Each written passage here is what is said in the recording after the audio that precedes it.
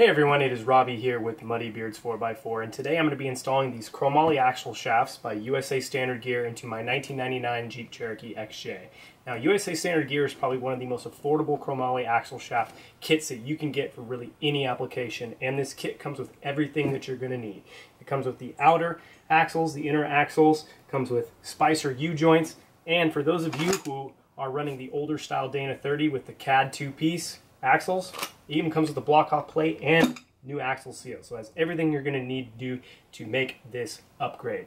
Now, I did a little research about USA Standard Gear. USA Standard Gear is part of Yukon, and essentially what they are is they are Yukon axles. They're made in the same plant, same factory, same materials, all that stuff. But they're actually downgraded from Yukon because they did not quite meet some sort of standard, some sort of spec. Um, and that could be anything from a slight variation in splines. It could be anything from a slight variation in the ears for where the U-joint caps go in. Um, but the thing about it is, is they're still held up to a high quality control. They're still made with good quality materials and they still come with a warranty. So I'm excited to get these things installed and see how they hold up. So let's get to the installation. Alright, well the first step in our installation is actually to assemble our axle shafts by using the provided 5x760 Spicer U-joint into our inner and outer axle shafts. Now to do this job, I don't have any special way. I don't have a U-joint press or anything, so I just do it the old school way with just a hammer. So what we're going to do is we're going to remove the caps, being careful to not misplace or getting any debris inside the needle bearings and making sure the needle bearings all stay in place. I like to start with the outer act or the inner axle shaft first because it's long and it's harder to manipulate. Just simply going to slide in the cross of the U-joint so that it fits in.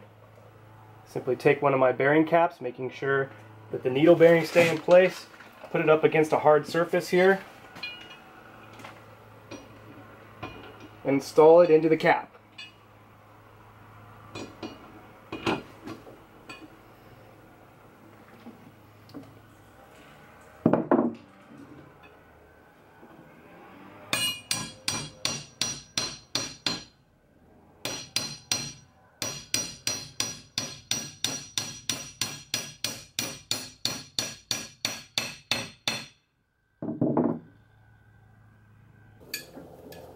Now that I have the one side installed, I'm going to turn it the other direction.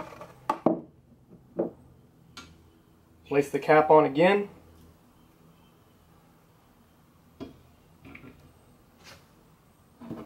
And again, tap on the axle, not on the bearing cap.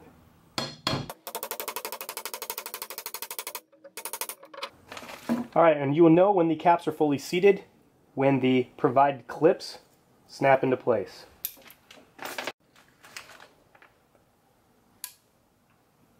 Just like that. Now it's time to do the other side with the outer axle.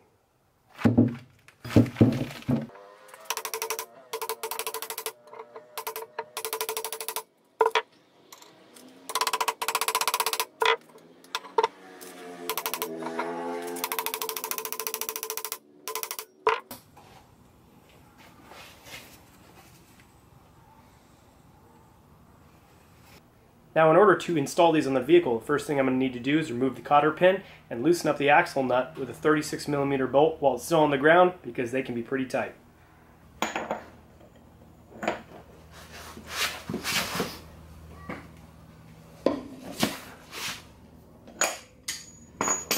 And once that is done, I need to jack up the vehicle and secure it and remove the tires.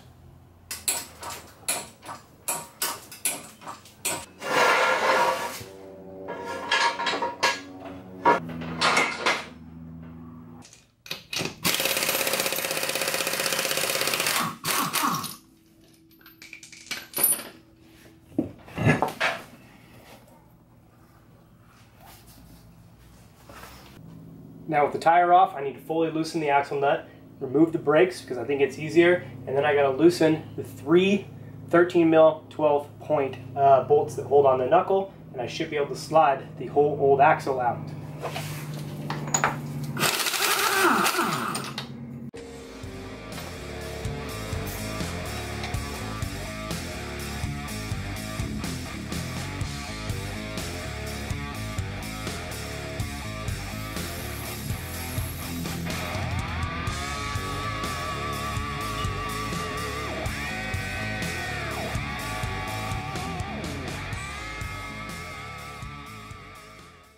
Alright, well installation is pretty straightforward. I'm just going to take my new shaft, I'm just going to slide it in, being careful to try to get in as straight as possible so I don't mess up the actual, the actual seals. I should say this would be a very good time to swap fluids and change the seals, um, especially since they even provide you with new axle seals. But seeing how I literally just did that, I did fluids and I did seals, um, I'm not going to worry about that. I don't seem to have any leaks, so I'm just going to go ahead and get my new axles installed.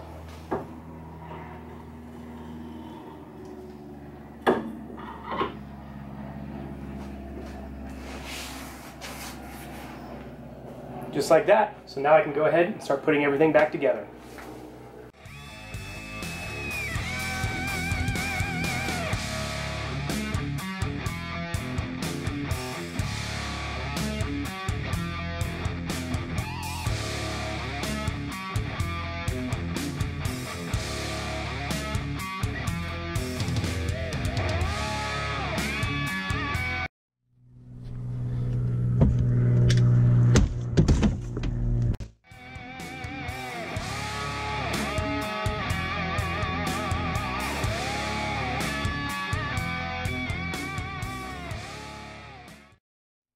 I got the Jeep back on all fours, took it for a test drive just to make sure everything was working correctly, and um, I'm super, super excited to have this upgrade.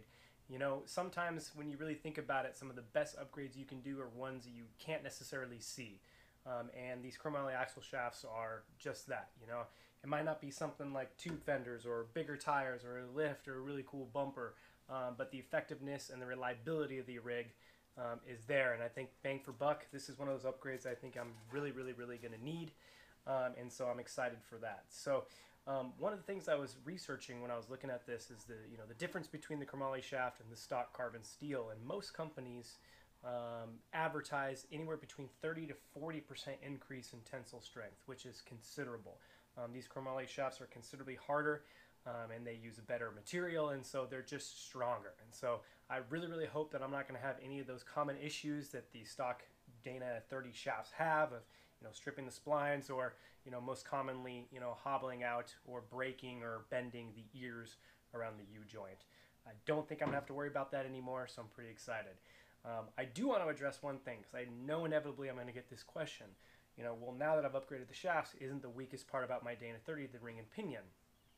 It might be true, um, but I'm not too concerned with it. You know, this is a high pinion axle, the reverse cut gears. I've only got the stock four liter in here. It just doesn't make, you know, that much power. I just don't think I'm going to have an issue of breaking the ring and pinion, um, but I guess we'll find out. Only time will tell. So I got to get this thing out on the trail um, and test these things out um, and know that I have the peace of mind of having chromoly shafts, I think is a big deal, um, especially on those long trips where you get really far you know, out there in the woods or really far away from your trailer. So if you liked the video, please give it a thumbs up. If you have any comments, um, if you have any experience with chromoly shafts in your Dana 30, comment below. I'd like to know what you got to say. I'd like to know what your opinion is um, and your experience. If you are a big fan of Muddy Beards 4x4, please go check the link out in the description below the video and go to our store. Check out some of this really cool Muddy Beard swag that we have, like this Trail Plug shirt. Got awesome stuff there. Check it out. Uh, maybe get your shirt or a sticker or something like that. We would really appreciate it. So until next time, we'll see you on the trail.